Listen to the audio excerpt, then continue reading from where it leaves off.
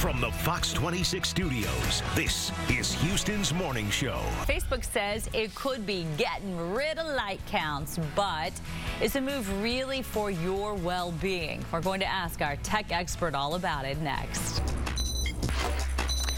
Earlier this week, we learned Facebook is considering testing the removal of like counts. Could it really be to combat compare culture, or is there something else going on here? Here to talk more about this is tech expert Nick Wolny. Instagram also looking into this and, and already testing it in other countries.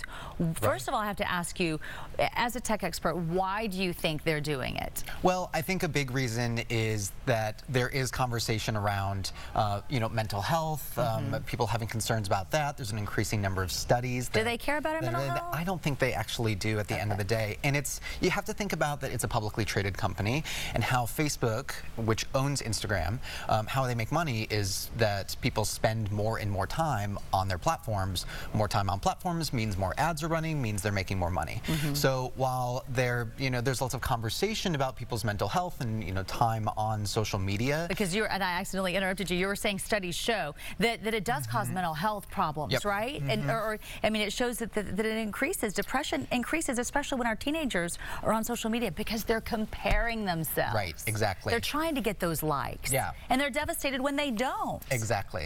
And a big issue is that, um, you know, the platforms were designed to be addictive. Mm -hmm. When Facebook introduced the like button in 2009, 10 years ago, they used the same psychology that is used to design slot machines. Mm -hmm. So they really designed it to be as addictive as possible possible because again, more time on platform will be, you know, equal more money and more profitability. Um, but the flip side of that is that now we're, you have our, our youth, mm -hmm. you have the next generation, like looking to get as many likes as possible, using the amount of likes that they're getting on posts to really, you know, indicate how good the post was. And when the post is, you know, a photo of your of yourself, that that can be really damaging. How intriguing that there was psychology behind all of this to, to make it addictive for us. Mm -hmm. I think mm-hmm. that's so intriguing and yeah. scary all wrapped up.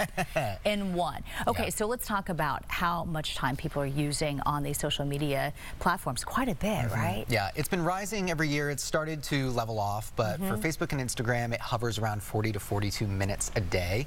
So if you're someone who is saying to yourself, gosh, I just don't like being on Facebook, why have I logged in for the 50th time today? Mm -hmm. That is why. It's been steadily rising. Um, so a couple of things you can do to kind of mitigate that. Mm-hmm. You can, uh, it's a scary move, but uh, for your mobile device, you can delete the app uh, and that can kind of help, you know, to mm -hmm. um, cut the cord a little bit mm -hmm. in terms mm-hmm. of checking all day long.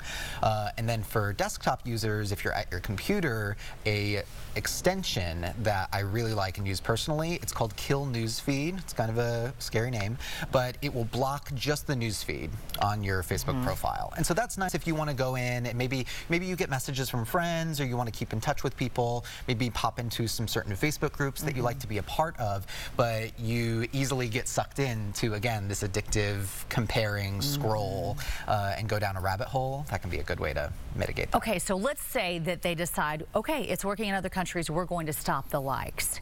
How will you know if, if anybody's even looking at your pictures? Will you still be able to see it and nobody else will? It's a good question. So you, the answer is yes. You will be able to see your own like counts. Mm -hmm. And mm-hmm. so that's another reason that um, tech experts kind of have a question mark over their heads mm -hmm. as to whether this is really about mental health.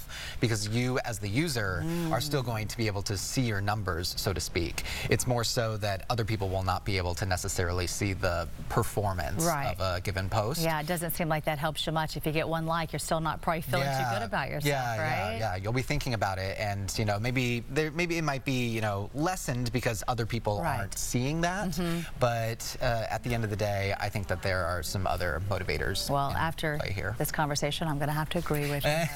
All right. Well, it's always good to hear from from you and understand what's going on mm -hmm. behind the scenes. Mike, you always get a lot of likes, buddy. You're all good. Yeah, but now you won't know. That's right. right. Nobody will know.